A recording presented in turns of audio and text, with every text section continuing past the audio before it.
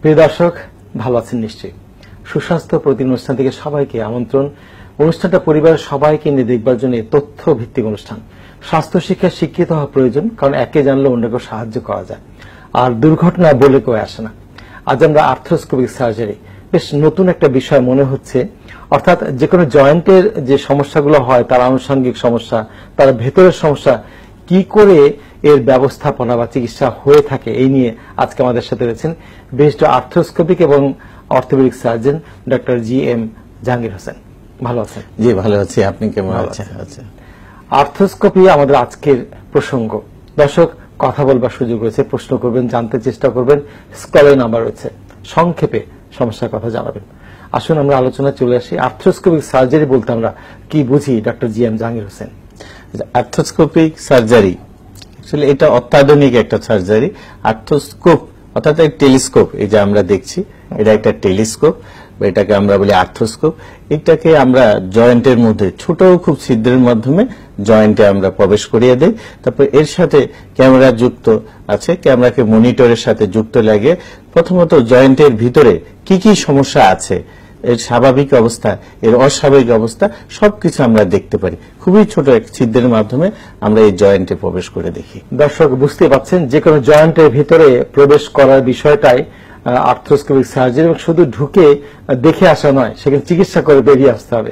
আসুন, আমরা একটা মডেল দেখতে পাচ্ছি, এটা হাঁটুর একটা মডেল এই মডেলে কি কি দেখা যাচ্ছে, তারপরে আমরা আসব আলোচনায়, কি করে সমস্যাগুলো হয় কি কি রোগ হয় এবং কি কি ব্যবস্থাপনা হয় এটা সম্পর্কে জানতে চাই। এই যে মডেলটা রয়েছে বিষয়টা বুঝিয়ে যদি বলেন। আচ্ছা ধন্যবাদ। অ্যাকচুয়ালি খুবই সুন্দর একটা প্রশ্ন। একটা হাঁটু যে আমরা বলছি এটা একটা হাঁটুর মডেল।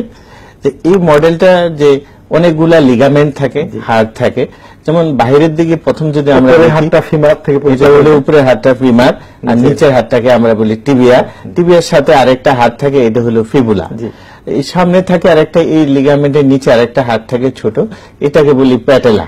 এই কয়টা সমন্বয়ে? এই হাড়ের সমন্বয়ে হলো হাঁটুর জোড়া। তো এই জোড়াগুলা এক হাড়কে আরেক হাড়ের সাথে ধরে রাখতে হলে বাইরের দিকে একটা লিগামেন্ট থাকে, এটাকে বলি ল্যাটারাল কোল্যাটারাল লিগামেন্ট আর ভিতরের দিকে হাঁটুর ভিতরের দিকে থাকে, এটাকে বলি আমরা মিডিয়াল কোল্যাটারাল লিগামেন্ট আবার যে সামনের দিকে জোড়ার ভিতরে থাকে যেটা অ্যান্টেরিয়র কুশিয়েট লিগামেন্ট আবার হাঁটুর পিছনের দিকে থাকে, এটার নাম হলো পোস্টেরিয়র কুশিয়েট লিগামেন্ট আর আরেকটা দুইটা জিনিস দেখতে পারি আমরা ক্রিসেন্টের মতো থাকে, গোল গোল, এটাকে বলি মেনিসকাস জি। যে মেনিসকাস থাকবার জন্য হাঁটু চাপ খাচ্ছে না। এই menis- আসি যে হাঁটুতে যদি দুর্ঘটনা হয় ইনজুরি হয় কি কি সমস্যা আপনার পান? একটা দুর্ঘটনা বা অ্যাক্সিডেন্ট বা খেলতে গিয়ে ক্রিকেট খেলা ফুটবল খেলা ভলিবল খেলা বাস্কেটবল বা যে কোনো ভাবে সে যদি পড়ে যায় পড়ে গিয়ে হাঁটুটা যদি ঘুরে যায় সেক্ষেত্রে আমরা বাহির থেকে ভিতর সব লিগামেন্ট বাহিরের লিগামেন্ট ইনজুরি হতে পারে anterior cruciate ligament posterior cruciate ligament এই মিনিসকাস এই ধরনের ইনজুরি হতে পারে তার। এবং এই ধরনের ইনজুরি নিয়েই রুগীরা বা যে খেলোয়াড়রা বা যে অ্যাক্সিডেন্ট আমাদের কাছে চলে আসে। যখন আসে কি লক্ষণ প্রকাশ পায় যদি ভেতরে ছিঁড়ে যায়? আচ্ছা প্রথমত যদি তার একটা ভিতরের অ্যান্ট্রিকুশিয়েট লিগামেন্ট বা পোস্টোকুশিয়েট লিগামেন্ট বা ল্যাটারাল কোলেটার লিগামেন্ট ইঞ্জুরি হয় এই ইনজুরিকে নিয়ে প্রথম হবে সে তীব্র ব্যথা হবে তার হাঁটুটা ফুলে যেতে পারে সে দাঁড়াতে পারবে না। সে তার আগে সে যখন ছিঁড়ে যাবে তখন সে একটা শব্দ পপ করে একটা শব্দ শুনতে পারবে। তারপরে তাকে হয়তো দাঁড়াতে পারবে না। তখন অন্যান্য প্লেয়াররা বা যে দুর্ঘটনায় পতিত হয় অন্য তাকে ধরে নিয়ে আসতে হয়। আনার পরে দেখবে যে হাঁটু ব্যথা তীব্র ব্যথা দাঁড়াইতে গেলে হাঁটু ঘুরে যাচ্ছে ছুটে যাচ্ছে সে আর পাচ্ছে না। এই ধরনের উপসর্গ নিয়ে এসে রুগীরা সাধারণত আমাদের কাছে জাহাঙ্গীর আসে। হোসেন আপনি অর্থোপেডিক্স এবং আর্থোস্কোপিক সার্জন একটা তথ্য জেনে নেই। আমরা খেলাধুলাতে দেখেছি মাঠে যখন কেউ হাঁটুতে ব্যথা পায় আর ওটা হ্যাঁচকা টান দিয়ে তাকে স্বস্তি দেওয়ার চেষ্টা করায় যে হ্যাঁচকা টান। এবার মন্তব্য জানতে চাই আসলে আপনি খুবই সুন্দর এবং গুরুত্বপূর্ণ এবং সচরাচর যেটা হয়ে থাকে সেই ধরনের একটা প্রশ্ন করছেন। এটা আপনার জন্য অবশ্যই ধন্যবাদ। এটা এটা করা উচিত না। কেউ যদি আগাতে সে ফুটবল খেলা হোক অ্যাক্সিডেন্ট যেভাবে যে আগাতে যদি তার এই লিগামেন্টটা কিছুটা ছিঁড়ে গেছে। ছিঁড়ে এসে অসুবিধায় পড়ে আছে কাত হয়ে পড়ে আছে। কেউ যদি তার হাঁটু উপরের পা নিচের ধরে টান মারে তাহলে বাকিটুক পর্যন্ত ছিঁড়ে যেতে পারে। সুতরাং এটা কখনো করা উচিত না। আংশিক ছিঁড়ে যেতেই পারে জি, কিন্তু বাকিটা ছিঁড়ে গেল টান এটা যেন না- হয়। না হয়। তাহলে আমরা আসি যে দুর্ঘটনা যখন আপনার কাছে আসে এটা তো পা ফুলা থাকে হাঁটু তো বন্ধ অবস্থায় রয়েছে। কি করে পরীক্ষা করে বার করেন যে ভেতরে ছিঁড়েছে? আচ্ছা এইটা হলো আমরা প্রথম রোগীকে তার কি ধরনের অসুবিধা সে সম্মুখীন হয়েছে একটা তার ইতিহাসটা শুনি। তারপর তার ফিজিক্যালি তাকে তার হাঁটুটাকে পরীক্ষা করে দেখি। তারপরে হলো আমরা সিম্পল একটা এক্স রে করি। এগুলাতে একটা আমরা প্রাথমিক ধারণা নিয়ে নেই যে তার কি কি অসুবিধা হয়েছে।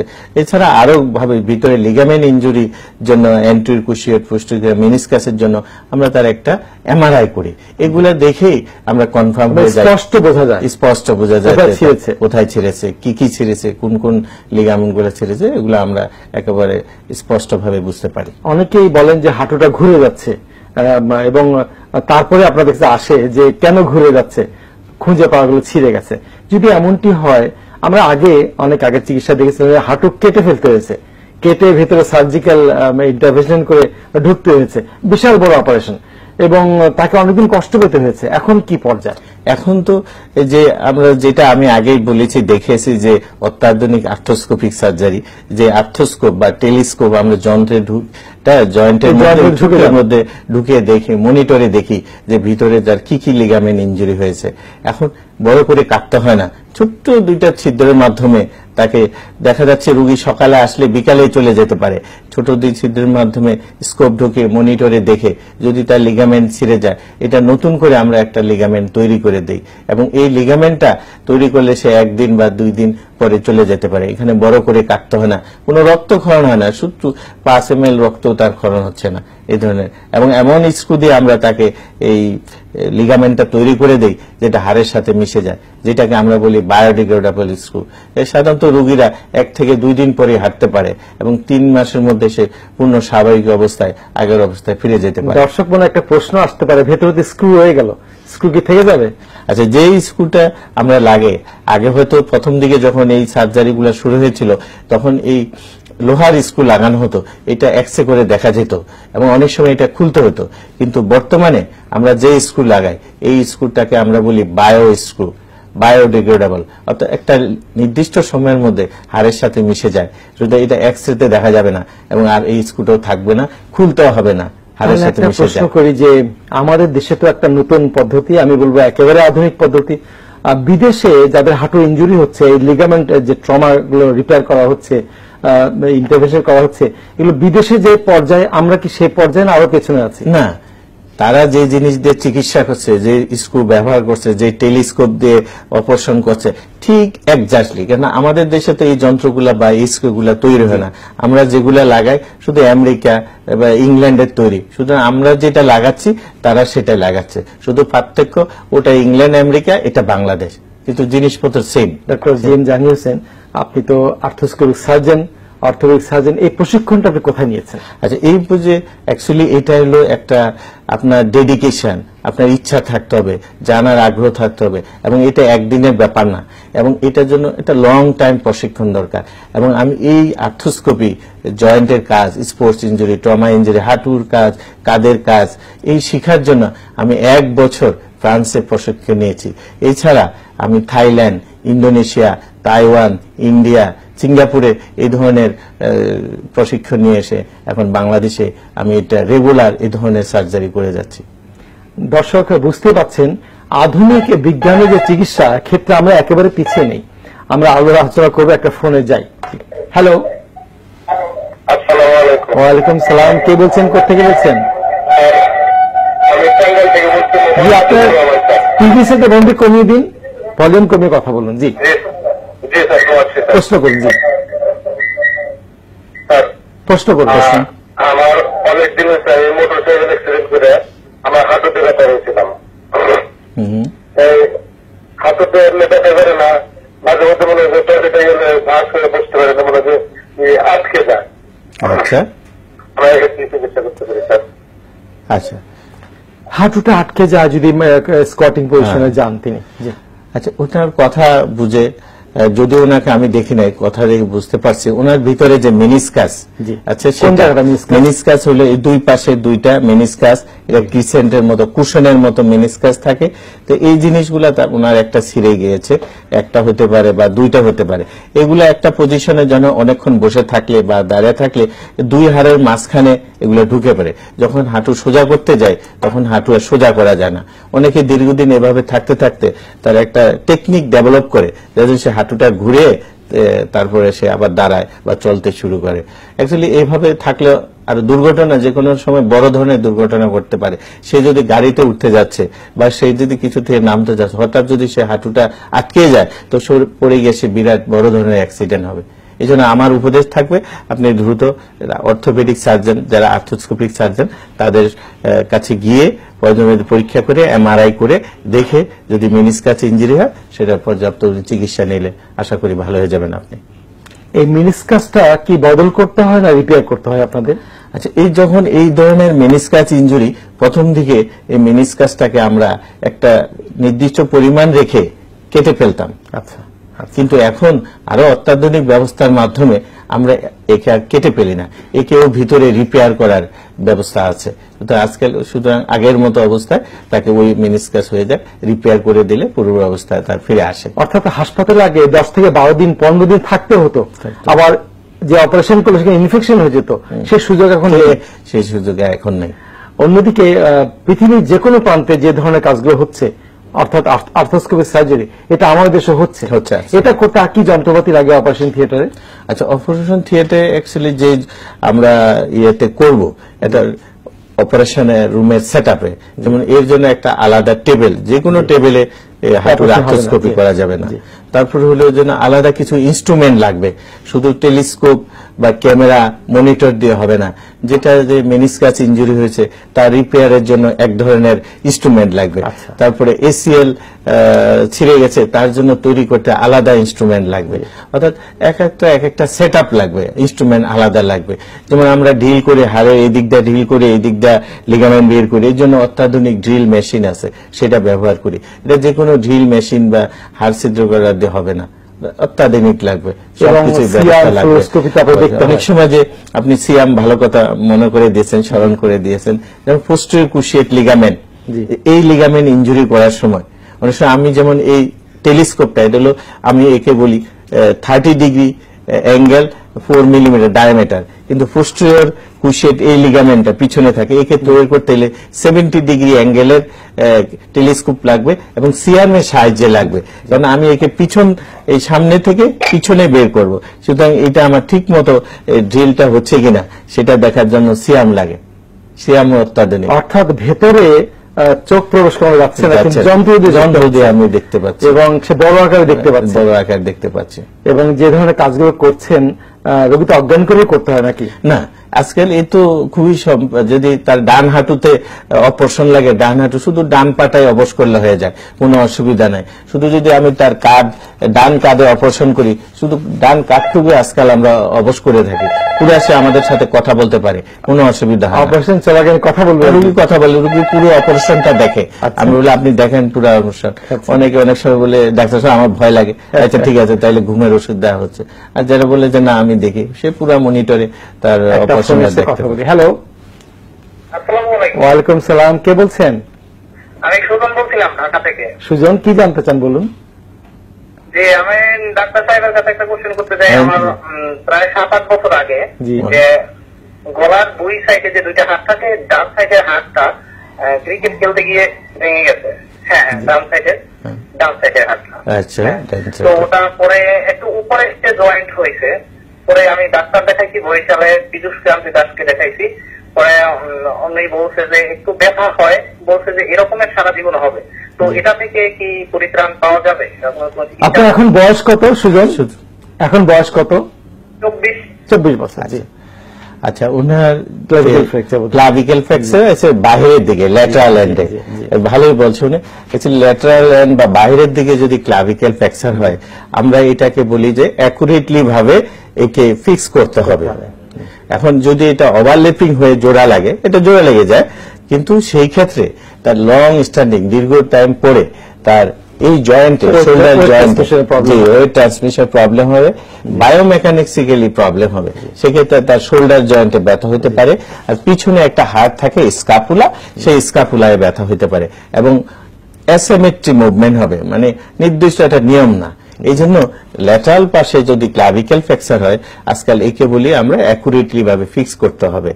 এবং এই ফিক্সেশনটা আজকাল অত্যাধুনিক। আমরা কোনো স্ক্রু রড বা কিছু না লাগিয়ে একটু লিগামেন্ট দিয়ে তৈরি করে দেই অ্যাকুরেটলি ভাবে সে ভালো হয়ে যায়। এই পরবর্তী গেলে এই জটিলতা থেকে বাঁচবে না।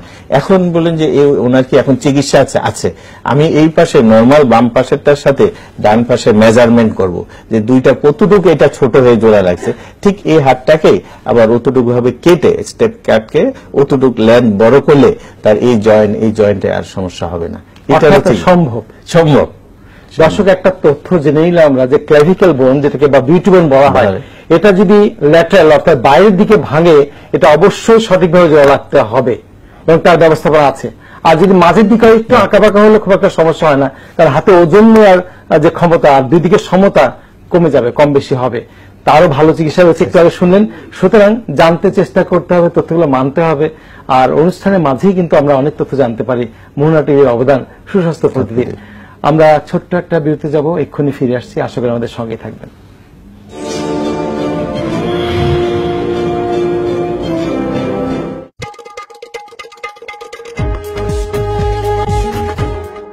চমৎকার নির্মাণ শৈলী আর স্বাস্থ্যসম্মত মনোরম পরিবেশে অবস্থিত দেশের একমাত্র সেরা physiotherapy hospital SP hospital and arthritis research centre আমাদের একশত ভাগ সফলতাই আমাদের আত্মবিশ্বাসকে বাড়িয়ে দিয়েছে বহুগুণে। কারণ আমাদের আছে বিশ্বের সর্বাধুনিক প্রযুক্তি এবং উন্নত টেকনোলজি। একমাত্র আমরাই আমাদের নিজস্ব পরীক্ষাগারে বিএমডি এবং থ্রিডি ওপেন এমআরআই মাধ্যমে সঠিক রোগ নির্ণয় করে ডাক্তারের গবেষণা ও নিজস্ব প্রযুক্তির মাধ্যমে অপারেশনবিহীন মেরুদণ্ডের ডিস্ক প্রলাপস আর্থ্রাইটিস হাঁটু ব্যথা, কোমর ব্যথা, প্যারালাইসিস ও ঘাড়ের ব্যথায় আক্রান্ত রোগীদের পুরোপুরি সুস্থ করে থাকি। রয়েছে সার্বক্ষণিক বিবির পর্যবেক্ষণ এবং মমতাময় সেবা। ব্যথা সারাতে ওষুধ বা অপারেশন নয় চাই সঠিক ফিজিওথেরাপি এবং এসপি হসপিটালে পারে সঠিক ফিজিওথেরাপির মাধ্যমে আপনাকে ব্যথা মুক্ত করতে। তাই ব্যথার রোগ নির্ণয় ও চিকিৎসার নির্ভরযোগ্য নাম। SP hospital and arthritis research centre আপনার পাশে সব সময়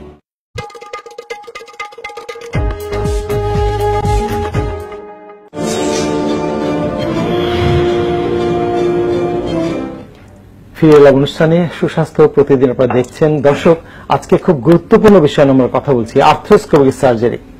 আমাদের সাথে রয়েছেন বিশিষ্ট আর্থ্রোস্কোপিক সার্জন এবং orthopaedic surgeon doctor G M Jahangir Hossain. আমরা হাঁটুর সমস্যা নিয়ে কথা বলছি। একটু প্রসঙ্গে আসি, হাঁটুর অসুখ হয়েছে দীর্ঘদিনের। দীর্ঘদিনের কি কি অসুখ হয়? কি কি জটিল হতে পারে? এই জটিল পর্যায়ে চলে আসে। হাঁটু কি কি জটিল সমস্যায় আক্রান্ত করতে পারে একটা ব্যক্তিকে? Doctor G M Jahangir Hossain. আসলে হাঁটুর জটিল রোগী যেমন আমি একটু আগে বলছিলাম যে ligament injury meniscus injury other anterior posterior cruciate ligament injury এগুলা যদি লং টাইম চিকিৎসা না নেওয়া হয় দিনের পর দিন চলতে অবহেলা করে। অবহেলা করে ডাক্তারের কাছে যায় না। তাহলে এই কি পরে এটার আলটিমেট ইফেক্ট হয়ে পড়ে তার দুই পাশের হাড় ক্ষয় হয়ে যেতে পারে।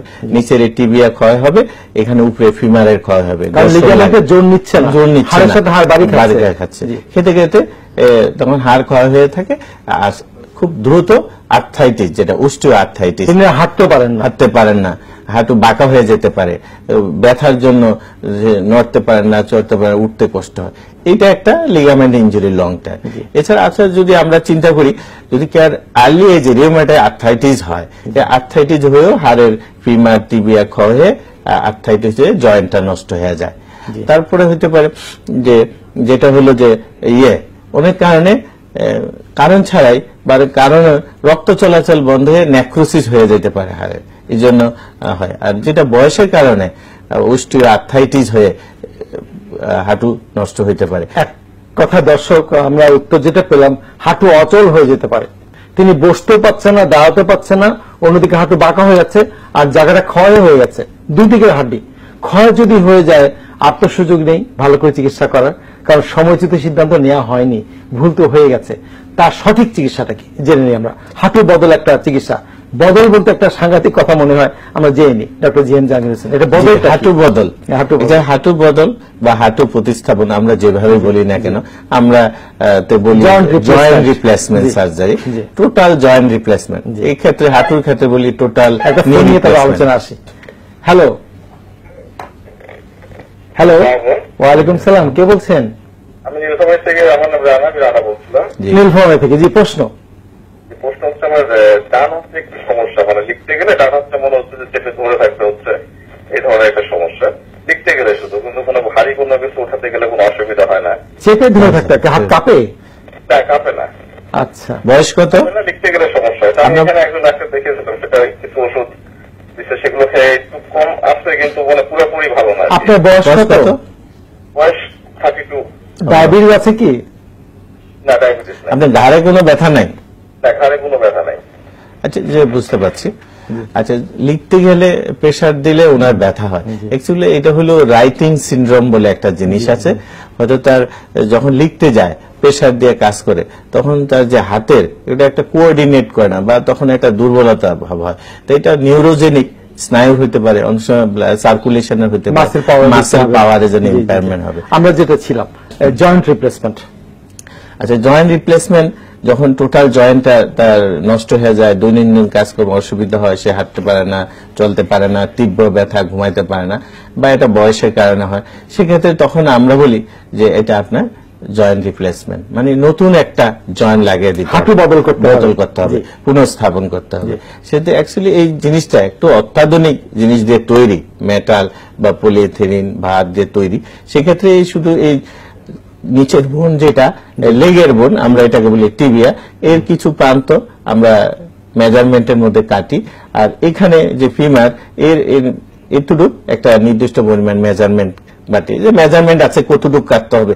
কাটার পরে আবার এটা আছে যে প্যাটেলা বাটি এটারও একটু অংশ কাটি। করে ওখানে এমন ভাবে সেট করে তিনটা জিনিস লাগিয়ে দিই। এখানে একটা এখানে একটা এখানে একটা। নর্মাল যে লাগানোর পরে নর্মাল যে জয়েন্ট আছে সেই জয়েন্টের মতো এরকম তার স্বাভাবিক মুভমেন্ট তিনি বসতে পারবেন হাঁটতে পারবেন। হাঁটতে সমস্যা হচ্ছে এরা তিনি হাঁটতে পারতেন না। ওজন নিতে পারতেন না। ব্যথা হতে প্রচণ্ড সেটা এখনও হবে হবে না। এবং সে দেখা যাচ্ছে যে একদিন বা দুই দিন পরে সে হাঁটা, আমরা তাকে হাঁটিয়ে দিই রুগীরে। যে তবে কিছু কিছু নিষেধ আছে, যেমন ইমিডিয়েট পরে যেন সে একটু না বসে স্কোয়াটিং না করে। নমাজ যেভাবে পড়ে, সেভাবে না করে। এটা একটা নির্দিষ্ট সময়ের পরে করতে পারবে। কিন্তু তার ওই স্বাভাবিক হাঁটু ভাঁজ সোজা করতে পারবে, হাঁটতে পারবে, ও তো ব্যথার ওষুধ খেতে পারবে না বা ঘুমাতে পারবে। এটা একটা লাইফ তার চেঞ্জ হয়ে যাবে আর। আগের অবস্থার মতো ফিরে যাবে। এটা অ্যাকচুয়ালি জয়েন্ট রিপ্লেসমেন্ট এটা এখন কঠিন কিছু না। এটা খুবই অল্প সময় লাগে। অনেক সময় আমরা যা দুই হাঁটু দুই হাঁটু একসাথেই অপারেশন করি। দুই হাঁটু মিলে আমাদের দেড় থেকে দুই ঘণ্টা সময় লাগে। এবং বেশি একটা যে রক্তক্ষরণ হয় তাও না। এটার জন্য অনেকে বিদেশ যান। এটা কি আমাদের দেশে হচ্ছে? এটা তো অ্যাকচুয়ালি এই কাজ তো আমরা অনেক আগে আমাদের দেশে শুরু করেছি আমরা করতেছি। এটার জন্য বিদেশে যাওয়ার একটু প্রয়োজন হয় না। কিন্তু অনেক দিকে বিদেশে গেলে রুগীরা যে করে আসে আমাদের কাছে ফলো আপ নিতে আসে। জি। তখন জি তখন বলে যে আমরা তো করি। ডাক্তার সাহেব আমরা তো জানি না। অন্যরা বলছে এই দেশে হয় না এটা বিদেশে চলে যান। অ্যাকচুয়ালি কারা বলে? যারা এটা ঠিক মতো জানে না। যারা এই অপারেশনের সম্বন্ধে জানে না তারা বলে যে এটা আমাদের দেশে হয় না আপনারা বিদেশে চলে যান। এই জন্য আগে আমাদেরকে সচেতন হতে হবে ডাক্তাররা যে এই দেশে হচ্ছে আমরা করতেছি। সুতরাং বিদেশে যে আমাদের দেশে টাকা সম্পদ নষ্ট করার কোনো দরকার নেই। ধন্যবাদ doctor G M Jahangir Hossain. আজকে আমরা নতুন তথ্য জানলাম। আপনাকে শুভেচ্ছা ধন্যবাদ।